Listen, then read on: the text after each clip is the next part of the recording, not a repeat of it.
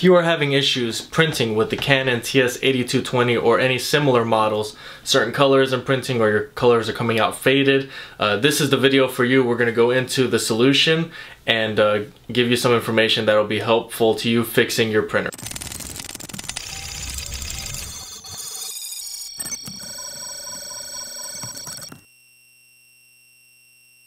Hey guys, what's going on? Brandon here with Best Printers at bestprinterstech.com. Uh, today I am uh, going to be talking about the Canon TS8220.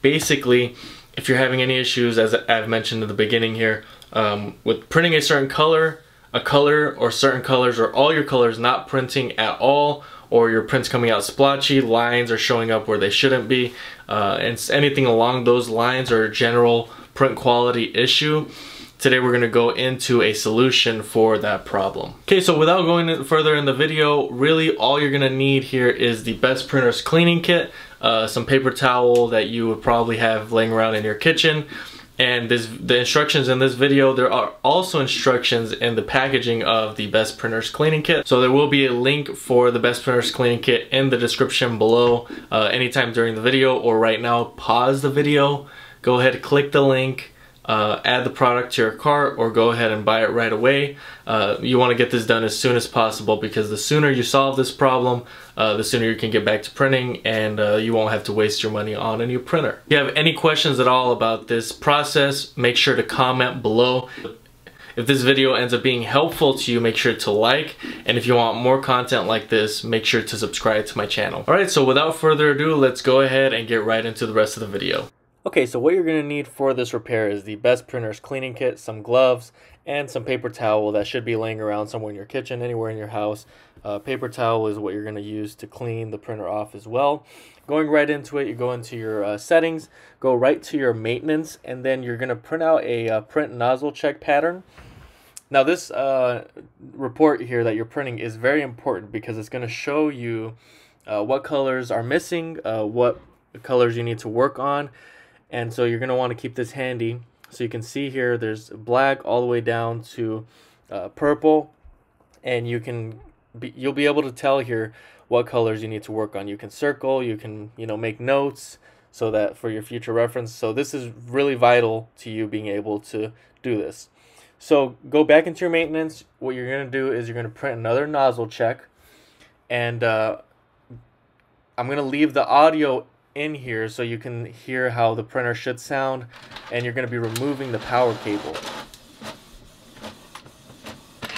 So once that is once you remove that uh, you should have free access to the print head uh, be able to move it back and forth. You're going to want to remove that paper that you initially were about to print with.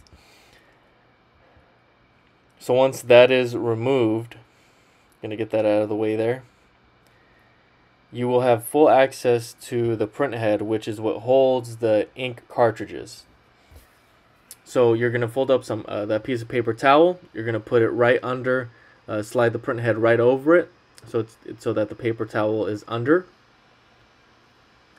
Just like that. And then you're going to want to remove the ink cartridges. Now, a few moments on the ink cartridges. Make sure you remove these, but 99% of the time, the reason why you are having this issue, not printing a, being able to print a certain color, is because your ink is running too low. I'm going to leave a link in the description below for some brand new, fresh Canon ink remanufactured so that it's cheaper.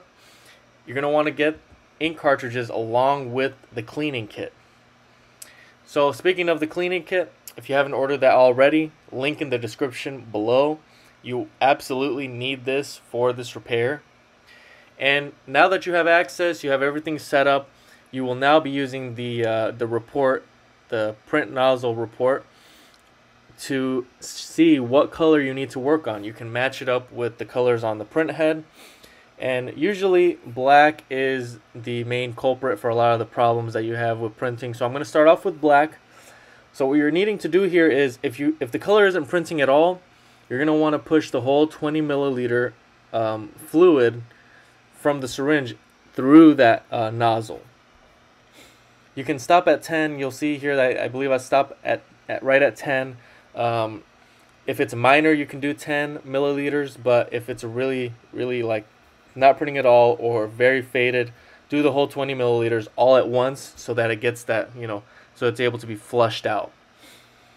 A little bit of a mess is not abnormal. Uh, this it does tend to be messy, so uh, don't worry if you do get some here and there. You can see there at the end.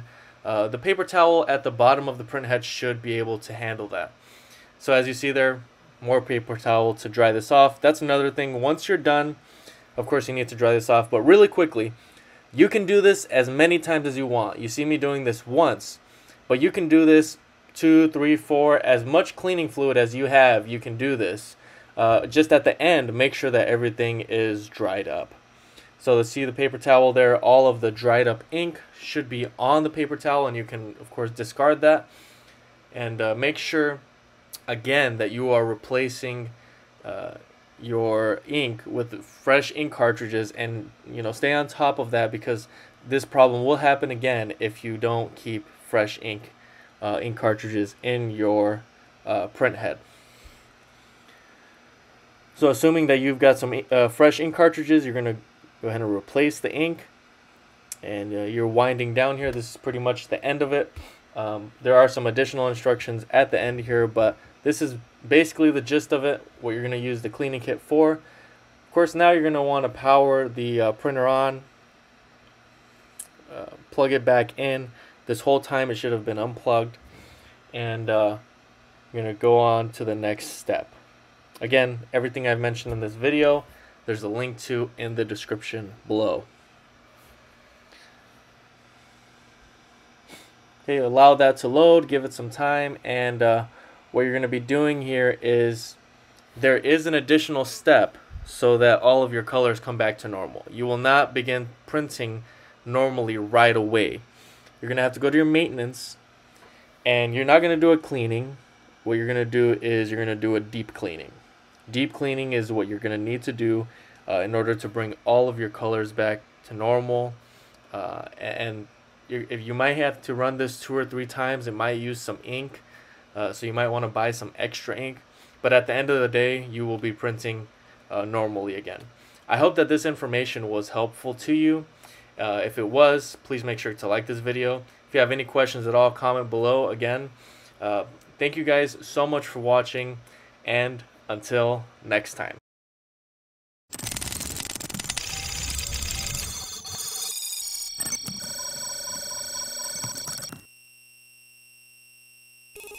Okay guys, another opportunity I did want to make available to you is to be able to sign up for Amazon Prime. So they're currently running a promotion where you are able to sign up uh, and have a 30 day free trial. So basically the cleaning kit is sold on Amazon as well as some of the ink cartridges and everything else that I have in the description below. Um, so you signing up for Amazon Prime and using it for these products is going to save you some money.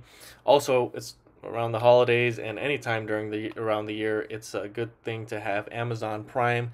Uh, it's discounted shipping uh, no shipping cost at all. Um, so i do want to make that available. That link will be in the description below for amazon prime of course, all the other services and products I've mentioned in this video, there will be a link to as well. So look for that Amazon Prime link. It may be the very last link, but if you're doing your due diligence with all the information I've given you thus far, uh, this should be a help for you.